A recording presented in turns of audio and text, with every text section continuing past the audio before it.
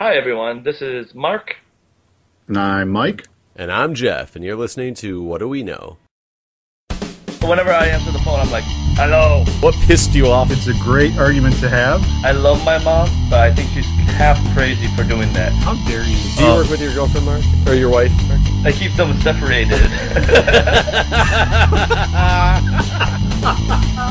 Sometimes I call people, they don't answer the phone. I'm like, Wrong number, click. Well, he's not that smart. Sometimes he sounds like he knows what he's doing. yeah, Go. Therefore, you're an ass, and I don't want to talk to you anymore. I still need my time Man, I'm such an ass. for sure. Only the best. So we suck. It's just finding our audience. Yeah. No, we suck. Yeah, I agree. You guys do. yeah. Uh, yeah, don't worry. Just be like Facebook. Facebook lost tons of money when it first started. It was more about getting people on Facebook or Right. people to listen. So should we make our podcast exclusive to make people want it more? And Only to open college it up to the entire world? Like Yes. that LO Uh, that's going on well, that's right how now. that's how Facebook Hello, yeah. started. It was based on exclusivity and that's Universities. what got them above. Well, it was uh, specifically only like Harvard, Princeton, Yale, and then they were adding other colleges as they went out and visited the colleges and saw who would do. So it was all oh, it's exclusive. Everybody wanted in, and then they just opened it up to everybody. And Well, that and also the alternative really sucked, so that helped. MySpace, Yeah. I mean, Friendster. I, I, I don't know if you remember how annoying MySpace was. Because basically, when you opened the page, it started bla- blaring music on you, and then when you go to another page, it, the music cuts out, and then it's a new song, and then you go back, and then it restarts the song. It was really annoying. I do know that I was never alone with MySpace though. Tom was always there for me. He was my bro.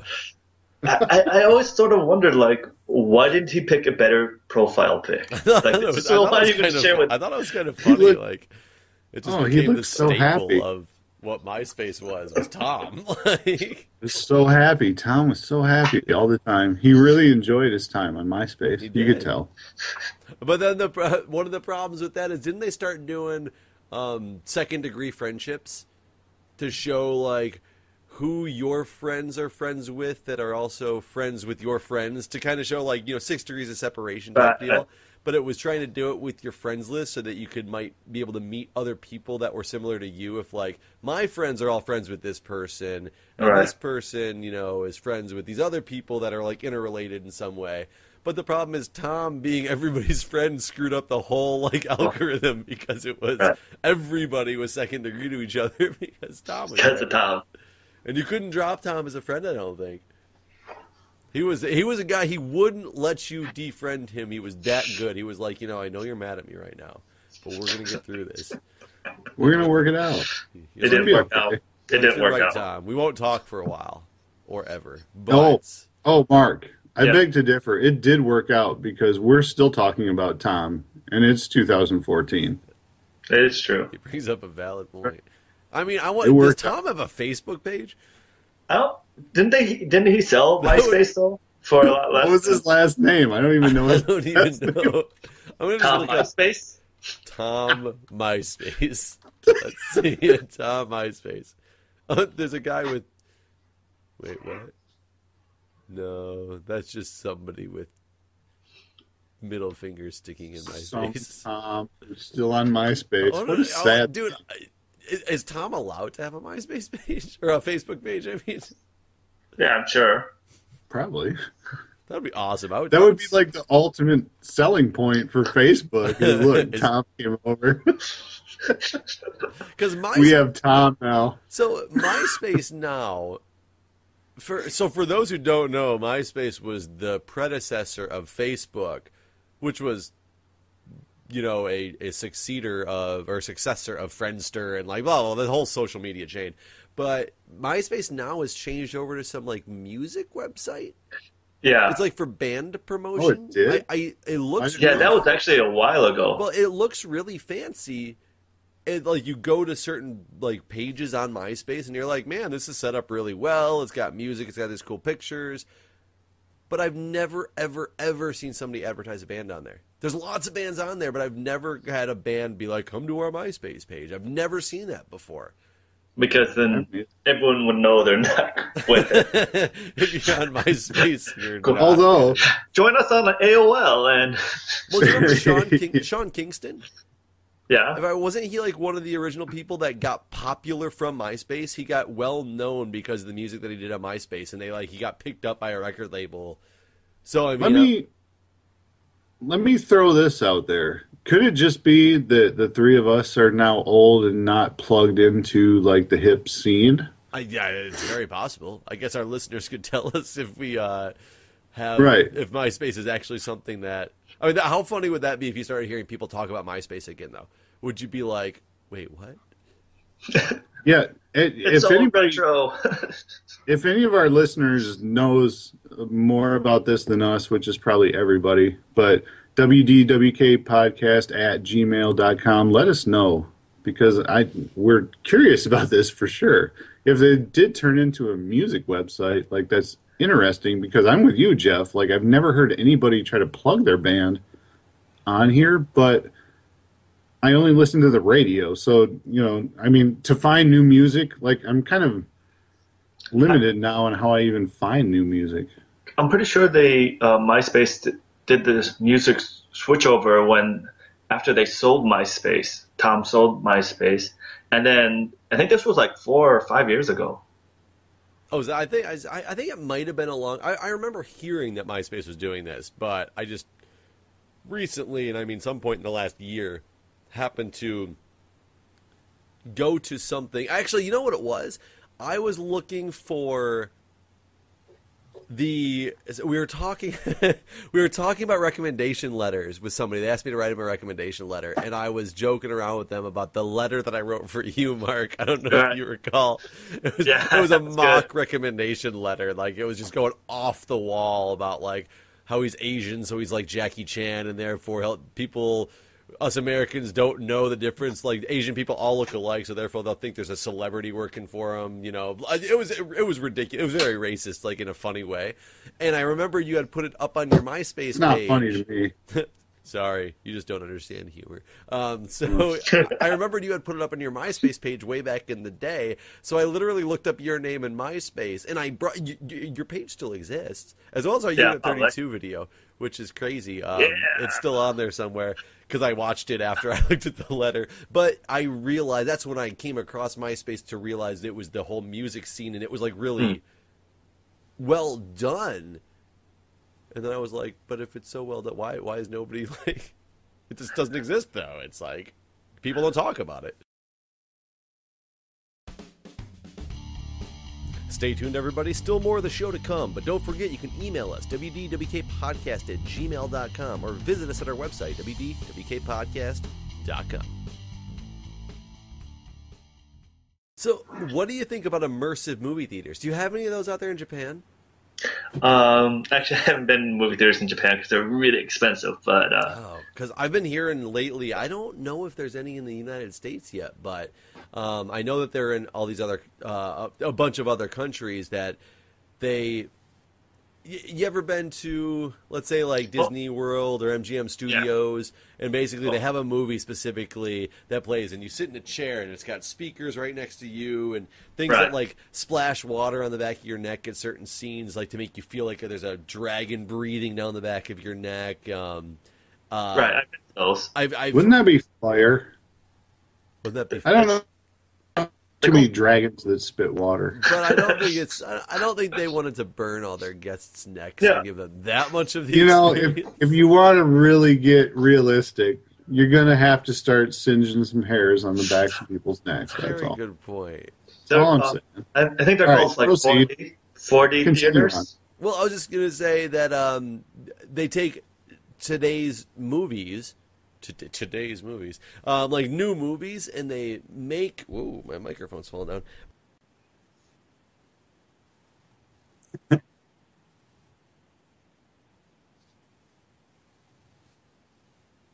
Your audio's something. Something bad just happened. We Some- lost Jeff. We A lost Jeff. A dragon, breathes fire on Jeff's microphone. Having your mic plugged in does make for better conversation. You know what? I like better all, all so much better. Hello. Oh, oh, it's back. Am I back? Yeah, that's better. Yeah. Oh yeah, I uh, I just kicked my microphone cord, but You sounded so much better like ten seconds ago. thanks. Well, we couldn't hear you. Thanks. But I mean, these immersive movie theaters, they, they take the movies and they're the chairs are all on like mechanical stuff too, so it Right. tilts left and right. Like take the Indiana Jones like minecart scene, and it would make you go like woo woo, you know, as it's going through, and it does all those different effects. And I heard that they are getting really popular in other parts of the world. I wish we had some here. How cool would that be? I haven't gone to the movie theater in years Hmm. because, as you said, it's it's like twelve bucks for a movie ticket or something like Well, that. Well, how much would a 4D theater cost? Like the stuff but that it- you want. But it's giving me something that I couldn't get at home. I will. I, I, I don't know. I'll, i've never been to an IMAX theater. Never been to an IMAX. Um, I don't know. Are they are they any good? I would never spend the extra money on going to the IMAX version of a movie because Well- I didn't quite understand. Did you see a 3D movie in IMAX? No, Like 3D movies? I've seen a 3D, 3D movie before. The one that you need glasses for. Yeah, yeah. Uh, I've, I've been to IMAX theaters. Um, Are- are you they- know, Are they anything even special? Uh, uh, from what I understand, isn't it just like the screen wraps around a little bit, kind of gives you more of a peripheral? It's like a bigger screen TV, well, no, not just that, but like if you go higher to resolution. Um, yeah, well, and they they have 3D IMAX now too. Right. So when you're talking about a giant screen, which basically wraps around your whole head, I mean, it basically. So I, I saw a couple movies, and one of which was Avatar. Mm. Um, and if you guys know much about that movie when it came out, like you know, it's totally kind of a blowhardy sort of movie, but It's Fer, it's Fern They- Gully. That's not a cartoon. But yeah, Right. Well, but they they they wrote this movie like, and and these facts are going to be sketchy because I can't remember now because it's been, you know, I don't know how many years since I saw that movie in the theater. But they let it sit kind of on the shelf for like ten or twelve years or something like that because the technology wasn't where they wanted it to be. Um, Well, so so when I saw this thing in 3D IMAX or whatever, it was it was very cool. Like you you felt like you were kind of in this movie, but you still are very aware that it's sort of a computer generated sort of right.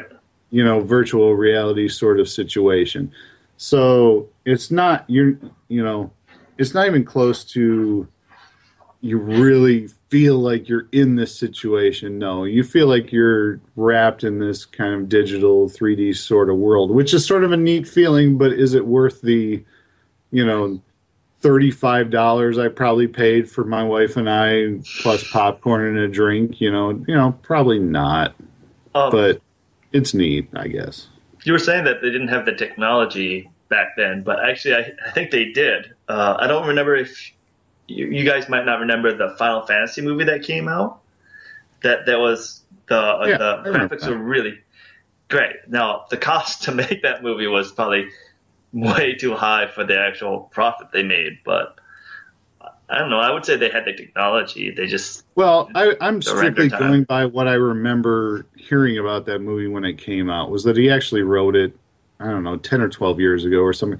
And I, you know, please, everybody, fact check me, and you know, if you want to email us and tell me I'm wrong, that's fine. But they're it was something along the lines of, um, it was ten or twelve years written, and the technology wasn't where he wanted it to be, and so he put it on the shelf, and then it just came out when he thought he could have a quality product out of what he wrote. So, so, but you're speaking still of just an IMAX movie in 3D. Right. So, did you have to wear glasses? Yes. So, I mean, they haven't come to 3D technology yet that doesn't involve glasses, which is unfortunate. But can you Right, imagine right. what, if- what if you were in that if you had paid to go see that movie and you were in a chair, like take those flying scenes when he's flying on the back of that bird or whatever animal that was, where he Yeah. makes love to his hair or whatever. whatever. Um, Yeah. but he, can you imagine if you were in something that immersed you in like you had a breeze that was like blowing by you as he was going really fast to make you simulate that you were you know actually moving somewhere and the whole chair was like moving around how much cooler of an experience would that have been It would have been cool. and Like if I could wrap my hair up in an animal and feel like I bonded with it, that'd be awesome. Whoa! If that's, Your I fetish don't know if is that's No, no animals were hurt in the making of this podcast. um, but so if they're doing this for movies in other countries, I would assume that each individual theater isn't writing their own scripts. So the scripts and how it all works has to exist somewhere. So in theory, you buy a plot, buy an old movie theater that shut down, install one theater that has 30 of these seats in it or whatever, and buy the programming from other places who have already done this programming in there Huh. for different movies. I would think Well, that'd be huge. is Yeah, probably probably the only place who's done this is Disney. Like I don't really know Universal another Studios do it also. But no, I mean, place that owned by Disney. I don't think so. They're two different movie studios. I'm gonna, I'm gonna look up here immersive movie theaters because there is consumer ones now. No, I but anyways, the, the point being, I think to buy like the copyright or patent on the technology to do that is probably like going to cost a fortune. I don't know. I've been to enough immersive movies where after a while, it's not worth the five to ten dollars extra that you would pay for a movie. Right. And the same thing comes with the IMAX, where I'm after let's say 10, 15 minutes into the movie, you totally forget that you're watching an IMAX movie. So it could be a five, uh, 15 inch screen TV on your laptop or an IMAX theater. After you get into the movie, it doesn't really matter about on screen size. It looks pretty much the same. Right. I no, I totally agree with you. There's not too many movies I ever well, I've only been to two IMAX movies in my life and I don't think I feel like I ever need to go to one again. Um because I know what they are. And until they radically advance the technology, like I just Well- it's not worth the money to me. Here's the thing with uh, uh, 3D movies. Why can't they just make it so it's 3D without glasses? And I, I, I want to say that it's very possible because, yeah, do you remember like uh, uh, a couple of years ago they made it? They had a um, an award show or something where they had Tupac come back, where it was all Right, with holographic. holographic image, yeah. Yeah, they could do that with movies now. I mean, You they have think. They have the technology. Well, and and frankly, like I don't know when the last time you guys have gone through, you know, like a a big electronics store, but the TV technology is getting so incredible. Um, you know, it, it's like to me, do I really need 3D holographic images going around my living room? I don't, I don't know, but um, with the, basically okay the short of it long and short of it is that the last time i was in a best buy which for those of you who don't know that's kind of a big box electronics store in america um, the they have these big displays with like top of the line tvs Like the 4K HD Um, what's that? TVs. Like the 4K HD TVs. Yeah, I, I assume that's probably what they were, and they were like the angled screens kind of thing, you know. Um, they were incredible. They were absolutely incredible to look at, and and you know I know part of that is they're um, running, you know, Blu-rays that are specifically made to accent the, you know, top of the line uh, hardware capabilities of these machines, but. Um, you know, it's like to wear those glasses. I never really saw um, a benefit to that, which is why I don't have a 3D TV. I think that's kind of a pain in the butt, and I think this new technology that's coming out is just so absolutely crystal clear that you know you'd have a hard time selling me on buying a TV that I I have to wear these 3D glasses to to really get the full effect of. So basically, you're saying that newer TVs with 3D technology doesn't float your boat because you have to wear something on your face. Yeah, I mean that's well, and it's part of like a value sort of based system where if I could wear something on my face and the image was, you know, 150 times better than what I could get off just like a normal TV, then yeah, I'm absolutely going to do it. However, you know, I got a pretty cool TV now and I don't have to wear something on my face. So the value to me of wearing these glasses and spending the extra money for the TV when I'm not totally convinced that this whole 3D technology is ever going to become like a standardized unit So I bought is kind of up in the air to me. I bought Google Cardboard recently. I don't know if you know what that is.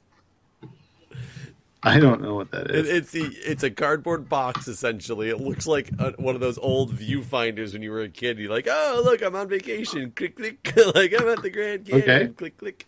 Um, you pretty much make this thing and you put your smartphone into it, and it's supposed to turn your smartphone into a 3D screen with certain applications. so I bought some Google Cardboard because they were like three dollars. How's that work? Um, I don't know because I can't get it to work right. So don't know if I have the wrong well, the Well- wrong programs or what. But I put my phone in there and I looked and I'm like, now I see my phone like half and half of my phone, but it's still, Right. it didn't put the images together in any way. Uh, I just don't think I have the right applications installed. But conceptually, it's it's a cool Yeah, concept. so uh, all 3D really does is gives two different images on your eyes, and they're like Right. shifted left or right to make it more 3D or whatever. Um, so that's how Google Cardboard is supposed to work. Yeah, I mean, I understand the concept of it, and that's why like the the glasses that came out for the, the new technology. Like the old technology was the whole red and blue things. That's why they have the red and blue shades, is because Right, it was a filter that filtered out you. This one eye is not going to see this part of the image. This one eye is not going to see the other. So when it combines them, it looks three dimensional. Granted, in shady colors. But Right. then the new stuff is uh, digital, like those glasses that connect to the TV. It's Right. it's, it's like sending multiple signals, like every millisecond, it's sending a signal to have it change what images you see to make it much more Right. clear of a 3D picture. I did. And hear by the way, I think that's what the Avatar movie first did. Because I, I don't remember them being like the blue and red. Like it was totally you Yeah. really did feel like you were in that movie. It, it used light shifts. That- Okay, Though, like the, the way 3D uh, works in those IMAX theaters, that's why like uh, if you look through one, one's actually more tinted than the others, but it's the way they let light through okay. uh, your, Um, to your eyes. So I heard about them trying to make the TVs that didn't need the glasses, but I know that th- this is like years when 3D TVs just started coming out and getting popular. Um, I want to say it was like Samsung or LG was making the TV, uh, the trying to make the one without glasses, and their biggest problem with it was because it has to focus in on different eyes, sending different signals to different eyes. You had you had like one point of view that you could stand and have this 3D image that you were seeing. Right. But if you shifted off of it at all, it was the signal was going to a different reference point. And that was a big problem with it. I don't know how much they've come up with technology from then, but considering that I haven't seen any headway in the non 3D glasses 3D TV space, nor heard about it anymore. I wonder if they just failed miserably. We're like, well, screw this; it's not worth it. Because as Mike said, it's not a technology people really cared about that much. Because it would probably degrade the quality of what you're watching when you're watching it in 3D. Like if I could watch football in 3D, that'd be freaking awesome. But the picture's so crystal clear now with my HD package and everything. It's just amazing as well. If you degrade that quality at all, like when I have to go back and watch football in a non HD TV, or like I was at my parents' house this last weekend, and they don't even have a widescreen TV at our house, so we don't have any Right. HD packages, non widescreen. And I was like, this looks like crap. Like it was so hard to watch.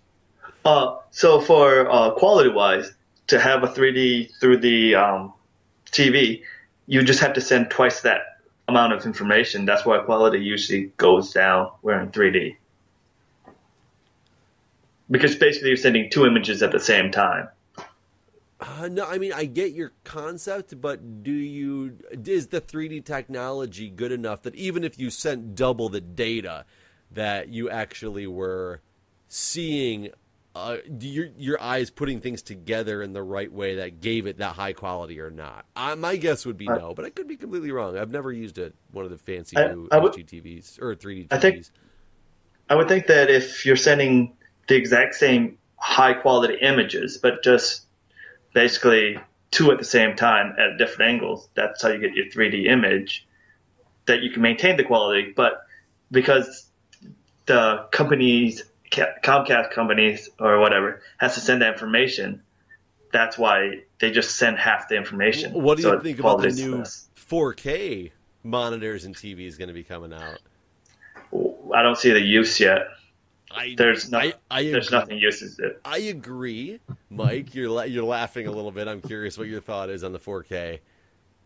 It's just it, you know, it's uh, well, it's exactly like the uh, 1080 kind of thing was when it first sort of became this thing that everybody was talking about. Like it's going to take a long time for the networks, even the you know paid networks, to start broadcasting um, with that quality.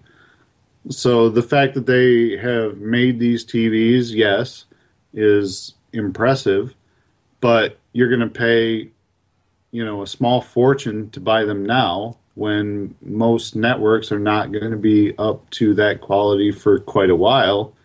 And, you know, if you just kind of hang around for a while and wait for the networks to catch up, the TVs are going to be at least half price. I mean, that's sort of the way technology goes, always. What do you think the quality? I, I mean, obviously, you can give a number estimate on how much better the quality is of something based on just you know straight up numbers. But when 1080p and stuff first came out, I was like, "Come on, you can't really notice that much of a difference. Things already look so good." And then 1080p came out, and I'm like, "Wow, it's amazing!" like, and now I'm like, "It's so amazing. 4K really can't be that much better." Do you think Well- it's going to be that much of a wow factor again, or like now, without having ever seen one? Do you think it'll be that great, or do you think it's going to be kind of like, eh? I would say that from VHS to DVD, there was a very big difference that you can noticeably tell. right, From DVD to Blu-ray? ten, yeah, to Blu-ray, I think it was a lot less noticeable. Now we have some friends that was like, you could see the difference between the the way the flames looked and appeared, but I think it's the the difference is much more s- subtle. So from let's say 1080 to 4K, that's going to even be even more subtle. Like you wouldn't have to have some really good eyes to tell the difference. See, I never owned a Blu-ray player because I never personally saw the point in spending that much extra money. However, I will tell you when I've watched Blu-ray movies with other people, of especially movies that I've seen already, I'm like, man, this is a much better picture than I remember this film Yeah. being in. But it's You can tell the difference. times. But it could also be the better TV than what you remember seeing it on. Well, no, because I have had both on the same TV, um, and you you definitely can tell the difference on the Blu-ray player. Um, however, I, I think it is you know kind of marginal, like Jeff was saying. Now, when you're talking about a jump from 1080 to 4K, which you know for all intents and purposes is basically four times the image quality. Yeah, it's way Um, more of an increase than 720 to 1080 was. Right, for sure. So, you know, I don't know. It it might be okay. I it, you know again. it might be it's- okay or 4K. right. Well, I, you know, it depends on how long it takes the networks to catch up. Because I mean, I don't know this for sure, but I know when 720 and 1080 started coming out, um, it took a long time when both of them, generally speaking, sort of came out at a similar time. But it took a long time for all the networks to catch up to the 1080. They all started going to 720, and then it took a long time for them to go to 1080. Well, how long is it going to take all these people to go up to 4K? All the networks you watch, all the shows that you want to see. Um, so if you invest this kind of money, and again, like I was saying earlier, anytime a first run technology comes out, it costs a small fortune. Um, whereas if you just kind of wait around until all the networks catch up to this sort of thing, well, there's a drastic price decrease that you're going to But I must Sort of have take- it now. Yeah. I mean, you can say that. iPhone 6, I must have it now. Well, I mean, you can say that about almost every technology, anything dealing with technology. So, like, people are like, well, I'm sure glad I waited until now to purchase Windows 95. Not that it's mainstream. Well, Right. I mean, I just got Windows 95 and I really dig it. I just finished I mean- installing it off of those 30 floppy disks. I finally found this 29 and was able to finish. All right, that's it for this week, everybody. Want to follow us on social media like the What Do We Know Facebook page? Follow us on Twitter at WDWK Podcast. Email us at WDWKpodcast at gmail.com or find us at our home on the internet, WDWKpodcast.com. Whenever I answer the phone, I'm like, hello. What pissed you off? It's a great argument to have. I love my mom, but I think she's half crazy for doing that. How dare you? Do you Oh. work with your girlfriend, Mark? Or your wife? Mark? I keep them separated. Sometimes I call people, they don't answer the phone. I'm like, "F- Wrong number, click. Well, he's not that smart. Sometimes he sounds like he knows what he's doing. yeah, Go. Therefore, you're an ass, and I don't want to talk to you anymore. I still need my time Man, I'm such an ass. for sure. Only the